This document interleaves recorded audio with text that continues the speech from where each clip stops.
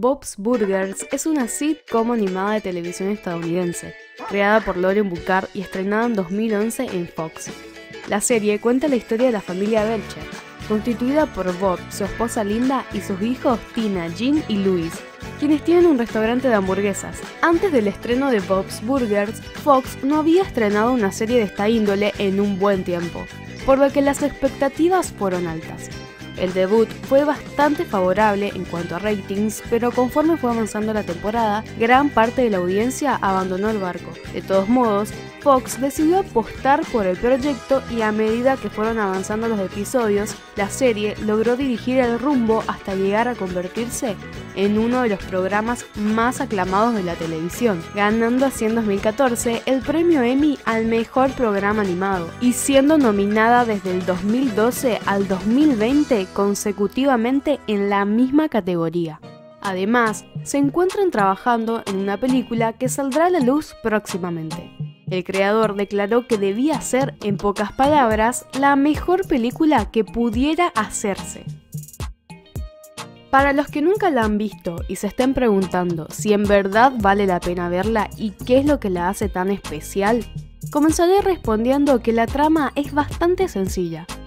Se trata de una familia que ostenta un local donde se hacen hamburguesas. Y aunque este es un detalle importante, en realidad es lo de menos ya que en Bob's Burgers tenemos una familia un tanto peculiar a la que le ocurren todo tipo de cosas. Pero se tratan de cosas más cotidianas y menos extravagantes en comparación a Los Simpsons, donde viajan al espacio y se hacen amigos de celebridades, sino más bien acontecimientos del estilo que el padre se queda atrapado en la pared y no quiere salir, o que se corre el rumor que las hamburguesas que sirven están hechas con carne humana, que una familia esté en el corazón de una serie animada no es ninguna innovación, pero eso no le resta méritos a la excelente caracterización que Bucar y compañía les han dado a todos los integrantes de la familia Belcher. En primer lugar, hay que tener en cuenta que esta serie tiene un protagonista de lo más normal, el cual no se mete en aventuras alocadas a lo Homero Simpson o Peter Griffin, porque simplemente a él le pasan cosas que rozan lo delirante y lo ridículo. Todas ellas giran alrededor de sus reacciones y de la actitud de su familia hacia ellas. En cada episodio se ve a la familia en el restaurante con diferentes situaciones con las cuales deben lidiar, sea la competencia por vender comida, los eventos escolares de los niños, las visitas de los familiares o demás ocurrencias de la ciudad costera donde viven. Es ahí donde surgen las primeras peculiaridades de la serie, ya que Bob es una persona corriente, con aspiraciones con las que todos podríamos identificarnos. Pero la cosa cambia cuando hablamos de su esposa y sobre todo sus tres hijos. Por su parte, Linda es la esposa que ve lo bueno en todo, que disfruta con su familia y mantiene una actitud positiva. Tina, la hija mayor, está en la adolescencia, en plena revuelta hormonal, obsesionada por los caballos y los traseros y a su vez tienen los más extraños sueños. Zombies coqueteando entre ellos. En fin, se trata de la hija a la que nadie hace caso. Jean, el hijo del medio, tiene los diálogos más ocurrentes entre todos ellos. Es perfecto, me emplumé y me abobé. No sé cómo logré que ese brazo se viera tan patético, pero lo logré. ¿Puedo pasar? Necesito... ¡Ándale! Es como mirarse a un espejo. Claro que no, Jean. ¿Quién es Jean? Yo no logro diferenciar uno del otro. Quítate todo eso. Lynn, ven aquí a resolver esto. No llames Lynn a tu mamá. ¿Qué? ¡Oh! Vaya, un Bob tamaño viaje. Oh. Linda, no se lo fomentes. Necesito el baño.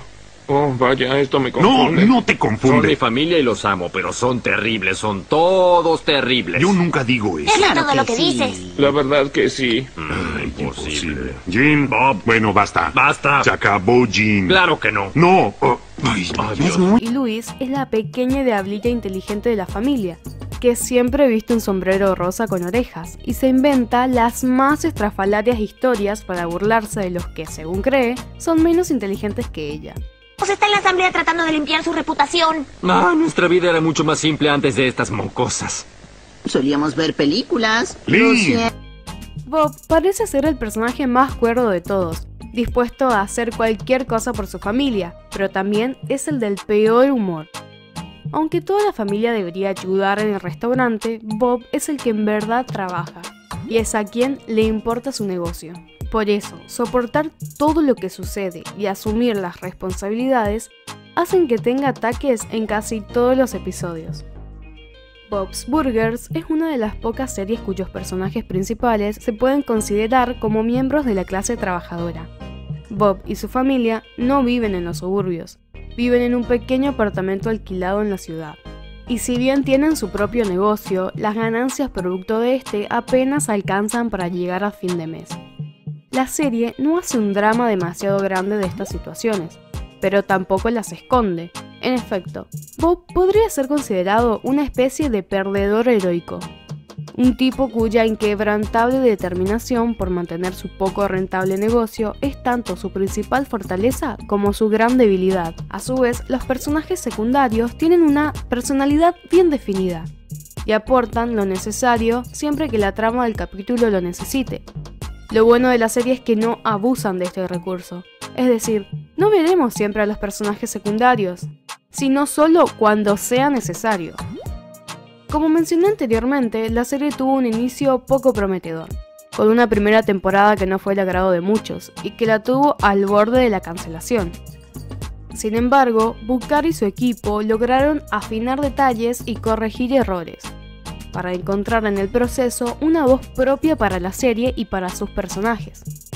Cada temporada es mejor que la anterior, con mayor inventiva, más riesgos de la narrativa y cambios positivos en las caracterizaciones que pueden hacer de una persona anteriormente relegada como Tina en un favorito para la audiencia. Con una animación simple, no hay nada llamativo que intente distraerte de lo que es realmente importante, la calidad de la escritura de comedia.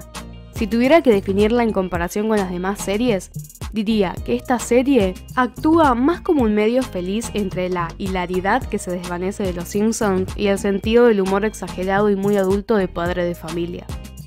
Con esto quiero decir que trama un universo donde es tan evidente el amor que se profesan los unos y los otros, sin ser empalagosa ni nada por el estilo, que es un placer, es hasta acogedora. Los episodios fluyen, las situaciones se suceden y uno se alegra que los episodios tengan un contenido y que afecten a estos personajes excesivos, a ratos irritantes, pero humanos. Además, a diferencia de los exitosos programas animados de Fox antes mencionados, la serie no se aventura demasiado fuera del restaurante en busca de humor o historia. Es bueno tener un programa centrado en una familia en su propio restaurante en lugar de otra casa genérica en otro barrio aburrido.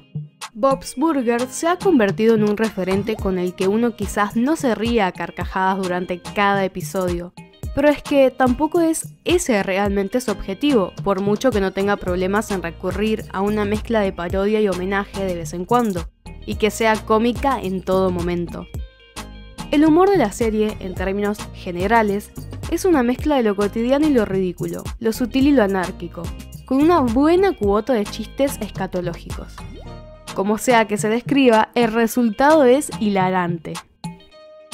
Para cerrar, puedo decir que Bob's Burgers es mi comedia favorita del momento.